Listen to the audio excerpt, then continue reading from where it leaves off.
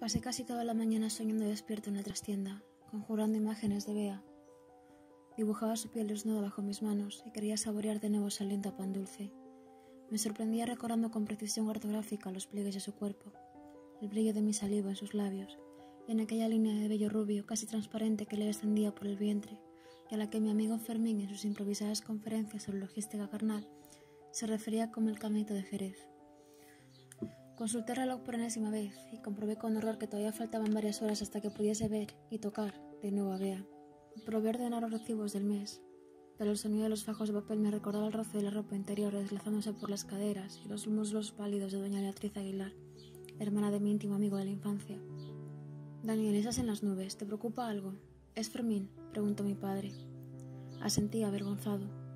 Mi mejor amigo se había dejado varias costillas por salvarme la piel unas horas antes y mi primer pensamiento era para el cierre de un sujetador.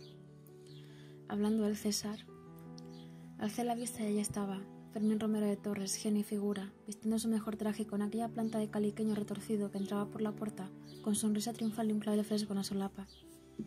¿Pero qué hace usted aquí, infeliz? ¿No tenía usted que guardar reposo? El reposo se guarda solo. Yo soy hombre de acción, y si yo no estoy aquí, ustedes no venden ni un catecismo. Desoyendo los consejos del doctor, Fermín venía decidido a reintegrarse en su puesto. Lucía una tez amarillenta y picaba de moretones, cojeaba de mala manera y se movía como un muñeco roto. Usted se va ahora mismo a la cama, Fermín, por el amor de Dios, dijo mi padre horrorizado. Ni hablar. Las estadísticas lo demuestran. Más gente muere en la cama que en la trinchera. Todas nuestras protestas cayeron en saco roto. Al poco mi padre cedió, porque algo en la mirada del pobre Fermín sugería que aunque le doliese los huesos hasta el alma, más le dolía la perspectiva de estar solo en su habitación de la pensión. Bueno, pero si le veo levantar cualquier cosa que no sea un lápiz, me va a oír. A sus órdenes, dijo Fermín. Tiene usted mi palabra de que yo hoy no levanto ni sospecha. Ni corto ni perezoso, Fermín procedió a calzarse su bata azul y se armó con un trapo y una botella de alcohol con los que se instaló tras el mostrador, con la intención de dejar como nuevas las tapas y el lomo de los quince ejemplares usados que nos habían llegado aquella mañana de un título muy buscado. El sombrero de tres picos, historia de la benemérita en versos alejandrinos por el bachiller Fulgencio Capón autor jovencísimo consagrado por la crítica de todo el país. Mientras se entregaba su tarea, Fermín iba lanzando miradas furtivas y guiando un ojo como el proverbial diablillo cojuelo. Tiene usted las orejas rojas como pimientos, Daniel. Será de oírle decir majaderías, contesté. O de la calentura que lleva usted encima. ¿Cuándo se ve con la fámula? Eso no es asunto suyo. Qué mal le veo. Ya evita el picante. Mire que es un vasodilatador mortífero. Váyase a la mierda, dije. Como venía siendo costumbre, tuvimos una tarde entre lenta y miserable. Un comprador calado de gris desde la gabardina a la voz entró a preguntar si teníamos algún libro de zorrilla. Comencé de que se trataba de una crónica en torno a las aventuras de una fuerza de cortedad en el Madrid de los Asturias. Mi padre no supo qué decirle, pero Fermín salió al rescate, como he ido por una vez. Se confunde usted, caballero. Zorrilla es un dramaturgo. A lo mejor le interesa a usted el Don Juan. Trae mucho lío de faldas y además el protagonista salía con la una monja. Me lo llevo. Atardecía ya cuando el metro me dejó en pie de la avenida Tibidabo. La silueta del tranvía azul se adivinaba entre los pliegues de la neblina violácea, alejándose. Decidí no esperar a su regreso e hice el camino a pie mientras anochecía. Al rato vislumbré la silueta del ángel de bruma. Extraje la llave que me había dado Bea y procedí a abrir la portezuela recortada sobre la verja. Me adentré en la finca y dejé la puerta casi ajustada, aparentemente cerrada, pero preparada para franquear el paso a Bea. Había llegado con antelación deliberadamente. Sabía que Bea tardaría por lo menos media hora o 45 minutos en llegar.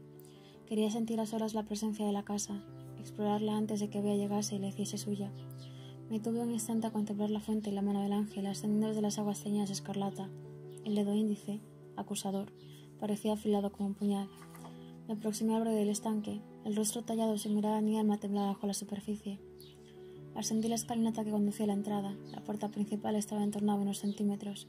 Sentí una punzada de inquietud, pues creía haberla cerrado al salir de allí la otra noche. Examiné el cerrojo que no parecía forzado y supuse que había olvidado cerrarla.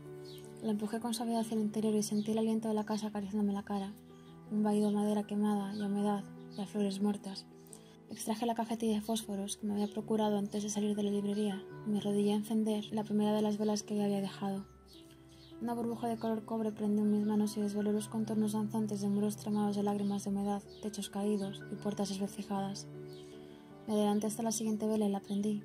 Lentamente, casi siguiendo un ritual, recorrí el resto de velas que había dejado Bea y las encendí una a una, conjurando un halo de luz ámbar que flotaba en el aire, como una telaraña atrapada entre mantos de negrura impenetrable. Mi recorrido terminó junto a la chimenea de la biblioteca, junto a las mantas que seguían en el suelo, manchadas de ceniza. Me senté allí enfrentado al resto de la sala. Había esperado silencio, pero la casa respiraba mil ruidos. Crujidos en la madera, el roce del viento en las tejas del techo, mil un repiqueteos entre los muros, bajo el suelo, desplazándose tras las paredes. Debían de haber transcurrido casi treinta minutos cuando advertí que el frío y la penumbra empezaban a adormecerme. Me incorporé y empecé a recorrer la sala para entrar en calor. Apenas quedaban los restos del tronco de la chimenea y supuse que para cuando llegase Bea, la temperatura en el interior del caserón habría descendido lo suficiente como para inspirarme momentos de pureza y castidad y borrar todos los espejismos fabriles que había alargado durante días. Habiendo encontrado un propósito práctico y de menos vuelo poético que la contemplación de las ruinas del tiempo, tomé una de las velas y me dispuse a explorar el caserón en busca de material combustible con el que hacer habitable la sala y aquel par de mantas que ahora tiritaban frente a la chimenea, ajenas a las cálidas memorias que yo conservaba de ellas. Mis nociones de literatura victoriana me sugerían que lo más razonable era iniciar la búsqueda por el sótano, donde a buen seguro debían de haber estado ubicadas las cocinas y una formidable carbonera. Con esta idea en mente tardé casi cinco minutos en localizar una puerta o escalinata que me condujese al sótano. Elegí un portón de madera labrada en el extremo de un corredor. Parecía una pieza de banistería exquisita, con relieves en forma de ángeles y lienzos y una gran cruz en el centro. El cierre descansaba en el centro del portón, bajo la cruz. Traté de forzarlo sin éxito, el mecanismo estaba probablemente trabado sencillamente perdido de óxido. El único modo de vencer aquella puerta sería forzarla con una palanca o derribarla a hachazos, alternativas que descarté rápidamente. Examiné aquel portón a la luz de las velas, pensando que inspiraba más la imagen de un sarcófago que de una puerta. Me pregunté qué se escondería al otro lado. Un vistazo más detenido de los ángeles labrados sobre la puerta me robó las ganas de averiguarlo y me alejé de aquel lugar. Estaba por existir de mi búsqueda de un camino de acceso al sótano cuando casi por casualidad di con una pequeña portezuela en el otro extremo del corredor, que tomé en principio por un armario de escobones y cubos. Probé el pomo que cedió al instante. Al otro lado se adivinaba una escalera que descendía en picado hacia una balsa de oscuridad. Un intenso hedor a tierra mojada me bofeteó. En la presencia de aquel hedor, tan extrañamente familiar y con la mirada caída en el pozo de oscuridad al frente, me asaltó una imagen que conservaba desde la infancia, enterrada entre cortinas de temor.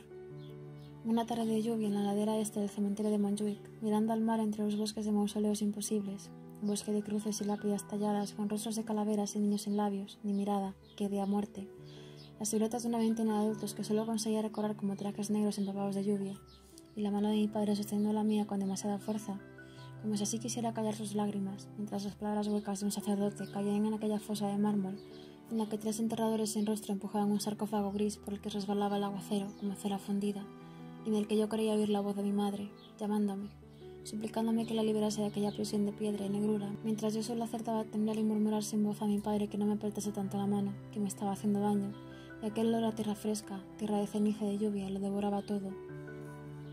Olor a muerte vacío. Abrí los ojos y descendí los peldaños casi ciegas, pues la claridad de la vela apenas conseguía robarle unos centímetros a la oscuridad. Al llegar abajo sostuve la vela en alto y miré alrededor. No descubrí cocina o balacena repleta de maderos secos. Ante mí se abría un pasillo angosto que iba a morir a una sala en forma de semicírculo en la que se alzaba una silueta con el rostro surcado de lágrimas, lágrimas de sangre y dos ojos negros y sin fondo, con los brazos desplegados como alas y una serpiente de púas brotándole en las sienes. Sentí una bala de frío que me apuñalaba la nuca. En algún momento recobré la serenidad y comprendí que estaba contemplando el efigie de un Cristo tallado en madera sobre un muro de la capilla. Me adelanté unos metros y vislumbré una estampa espectral, una docena de torsos femeninos desnudos se apilaban en un rincón de la antigua capilla. Avertí que les faltaban los brazos y la cabeza y que se sostenían sobre un trípode. Cada uno de ellos tenía la forma claramente diferenciada, y no me costó adivinar el contorno de mujeres de diversas edades y constituciones. Sobre el vientre se leían unas palabras trazadas al carbón. Isabel, Eugenia, Penélope. Por una vez mis lecturas victorianas salieron al rescate y comprendí que aquella visión era la ruina de una práctica ya en desuso, un eco de tiempos en que las familias acaudaladas disponían de maniquís creados a la medida de los miembros de la familia para la confección de vestidos y ajuares. Pese a la mirada severa y amenazadora del Cristo, no pude resistir la tentación de alargar la mano y rozar el talle del torso que llevaba el nombre de Penélope Aldaya. Me pareció entonces escuchar pasos en el piso superior. Pensé que Bea ya había llegado y que estaría recorriendo el caserón buscándome. Dejé la capilla con alivio y me dirigí de nuevo hacia la escalera. Estaba por ascender cuando advertí que en el extremo opuesto del corredor se distinguía una caldera, y una instalación de calefacción en aparente buen estado, que resultaba incongruente con el resto del sótano. Recordé que había comentado que la compañía inmobiliaria que había tratado de venderle Palacio Talaya durante años había realizado algunas obras de mejora con la intención de atraer compradores potenciales sin éxito.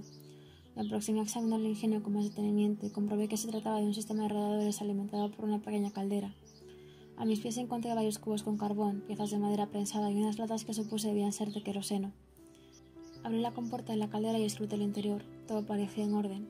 La perspectiva de conseguir que aquel armatoste funcionase, tras tantos años, se me antojó desesperada. Pero ya no me impidió proceder a llenar la caldera de pedazos de carbón y madera y rociarlos con un baño de queroseno. Mientras lo hacía me pareció percibir un crujido de madera vieja y por un instante volví la vista atrás. Me invadió la visión de pues ensangrentadas esclavándose de los maderos y enfrentando a la penumbra. Temí ver emerger a tan solo unos pasos de mí una figura. Temí ver emerger a tan solo unos pasos de mí la figura de aquel santo Cristo que acudía a mi encuentro, blendiendo una sonrisa loguna. Al contacto de la vela, la cadera prendió con una llamarada que arrancó un estruendo metálico. Cerré la compuerta y me retiré unos pasos, cada vez menos seguro de la soledad de mis propósitos. La caldera parecía tirar con cierta dificultad y decidí regresar a la planta baja para comprobar si la acción tenía alguna consecuencia práctica. Ascendí la escalera y regresé al gran salón esperando encontrar a Bea, pero no había rastro de ella. Supuse que había pasado ya casi una hora desde que había llegado, y mis temores de que el objeto de mis turbios deseos nunca se presentase cobraron visos de dolorosa verosimilitud. Para matar la inquietud decidí proseguir con mis proezas de lampista y partí a la búsqueda de alrededores que confirmasen que mi resurrección de la caldera había sido un éxito. Todos los que encontré demostraron resistirse a mis anhelos, helados como témpanos, todos excepto uno. En una pequeña habitación de no más de 4 por 5 metros cuadrados, un cuarto de baño, que se puso ubicado justo encima de la caldera, se percibió una cierta calidez. Me arrodillé y comprobé con alegría que las baldosas del suelo estaban tibias. Fue así como Bea me encontró, en cuclillas sobre el suelo, palpando las baldosas de un baño, como un imbécil con la sonrisa bobalicona de las no flautistas estampada en la cara. Al volver la vista atrás y tratar de reconstruir los sucesos de aquella noche en el Palacio Talaya, la única excusa que se me ocurre para justificar mi comportamiento es alegar que a los 18 años, a falta de sutileza y mayor experiencia, un viejo lavabo puede hacer las veces de paraíso. Me bastaron un par de minutos para persuadir a Bea de que tomásemos las mantas del salón y nos encerrásemos en aquella diminuta habitación con la sola compañía de dos velas y unos apliques de baño de museo. Mi argumento principal, climatológico, hizo mella rápidamente en Bea, a quien el calorcillo que emanaba de aquellas baldosas disuadió de los primeros temores de que mi disparatada invención fuera a prenderle fuego al caserón. Luego, en la penumbra rojiza de las velas, mientras la desnudaba con dedos temblorosos, ella se sonreía, buscándome la mirada y demostrándome que entonces y siempre, cualquier cosa que se me pudiera ocurrir, a ella se le habría ocurrido ya antes. La recuerdo sentada, la espalda contra la puerta cerrada de aquel cuarto, los brazos caídos a los lados, las palmas de las manos abiertas hacia mí, Recuerdo cómo mantenía el rostro erguido, desafiante, mientras le acariciaba la garganta con la llama de los dedos.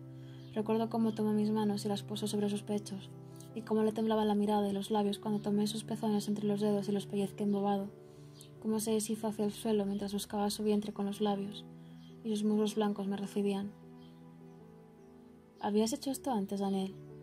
En sueños, dije. ¿En serio? No. ¿Y tú? No. ¿Ni siquiera con Clara Barceló? Reí, probablemente de mí mismo. ¿Qué sabes tú de Clara Barceló? pregunté. Nada. Pues yo menos, dije. No me lo creo. Me incliné sobre ella y la miré a los ojos. Nunca había hecho esto con nadie. Bea sonrió, se me escapó la mano entre sus muslos y me balancé en busca de sus labios, convencido ya de que el canibalismo era la encarnación suprema de la sabiduría. Daniel, dijo Bea con un hilo de voz. ¿Qué? La respuesta nunca llegó a sus labios. Súbitamente una lengua de aire frío silbó bajo la puerta y en aquel segundo interminable antes de que el viento apagase las velas, nuestras miradas se encontraron y sentimos que la ilusión de aquel momento se hacía añicos. Nos bastó un instante para saber que había alguien al otro lado de la puerta. Vi el miedo dibujándose en el rostro de Bea y un segundo después nos cubrió la oscuridad. El golpe sobre la puerta vino después, brutal, como si un puño de acero hubiese martillado contra la puerta, casi arrancándola de los goznes. Sentí el cuerpo de Bea saltando en la oscuridad y la rodeé con mis brazos. Nos retiramos hacia el interior del cuarto justo antes de que el segundo golpe cayese sobre la puerta, lanzándola con tremenda fuerza contra la pared. Bea gritó y se encogió contra mí. Por un instante solo atiné a ver la tiniebla azul que reptaba desde el corredor y las serpientes de humo de las velas extinguidas, ascendiendo en espiral. El marco de la puerta dibujaba fauces de sombra y creí ver una silueta angulosa que se perfilaba en el umbral de la oscuridad. Me asomé al corredor temiendo, quizá deseando encontrar solo a un extraño, un vagabundo que se hubiese aventurado en un caserón en ruinas en busca de refugio en una noche desapacible, pero no había nadie allí, apenas las lenguas de azul que exhalaban las ventanas. Acurrucada en un rincón del cuarto temblando, Bea susurró mi nombre. No hay nadie, dije. Quizás ha sido un golpe de viento. El viento no da puñetazos en las puertas, Daniel. Vayámonos. Regresé al cuarto y recogí nuestra ropa. Te envístete, vamos a echar un vistazo. Mejor nos vamos ya, dijo Bea. Enseguida, solo quiero asegurarme de una cosa. Nos vestimos a prisa y a ciegas. En cuestión de segundos pudimos ver nuestro aliento dibujándose en el aire. Recogí una de las velas del suelo y la encendí de nuevo. Una corriente de aire frío se deslizaba por la casa como si alguien hubiese abierto puertas y ventanas. ¿Ves? Es el viento. Bea se limita a negar en silencio. Nos dirigimos de vuelta a la sala protegiendo la llama con las manos. Bea me seguía de cerca casi sin respirar. ¿Qué estamos buscando, Daniel? Solo es un minuto, dije. No, vayámonos ya. De acuerdo. Nos volvimos para encaminarnos hacia la salida. Fue entonces cuando lo advertí. El portón de madera labrada en el extremo de un corredor que había intentado abrir una o dos horas antes, sin conseguirlo, estaba entornado. ¿Qué pasa? preguntó Bea. Espérame aquí, dije. Daniel, por favor. Me adentré en el corredor sosteniendo la vela que temblaba en el aliento frío del viento. Bea suspiró y me siguió a regañadientes. Me detuve frente al portón. Se adivinaban peldaños de mármol descendiendo hacia la negrura. Me adentré en la escalinata, Vea petrificada sostenía la vela en el umbral. Por favor, Daniel, vámonos ya. Descendí peldaño a peldaño hasta el fondo de la escalinata. El halo espectral de la vela en lo alto arañaba el contorno de una sala rectangular, de paredes de piedra desnuda, cubiertas de crucifijos.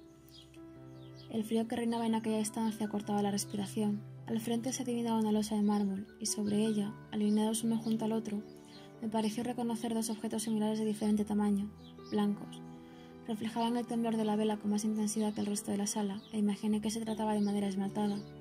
Di un paso más al frente y solo entonces lo comprendí. Los dos objetos eran dos ataúdes blancos, uno de ellos apenas medía tres palmos. Sentí un vaído de frío en la nuca.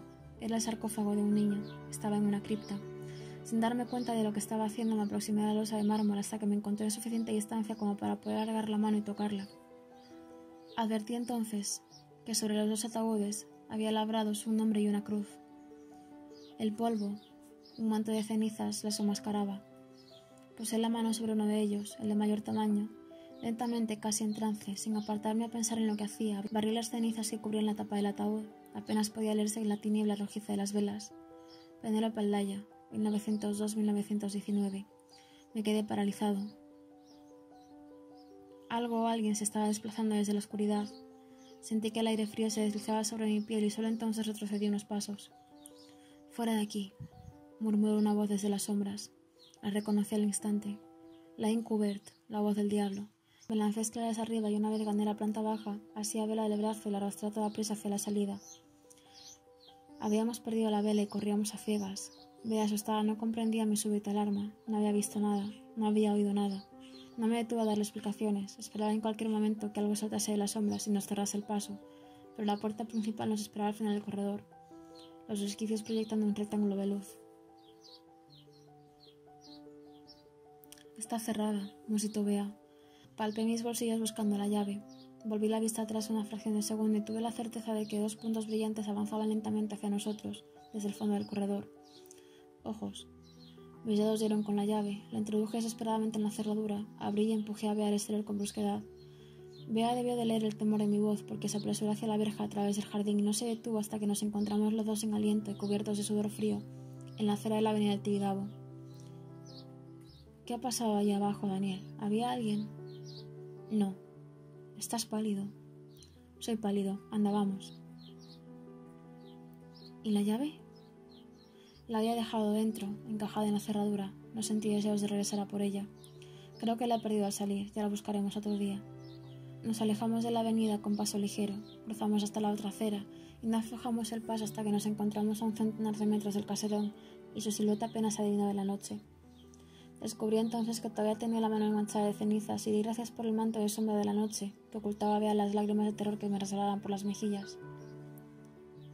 Anduvimos calle Balmes abajo hasta la plaza Núñez de Arce, donde encontramos un taxi solitario.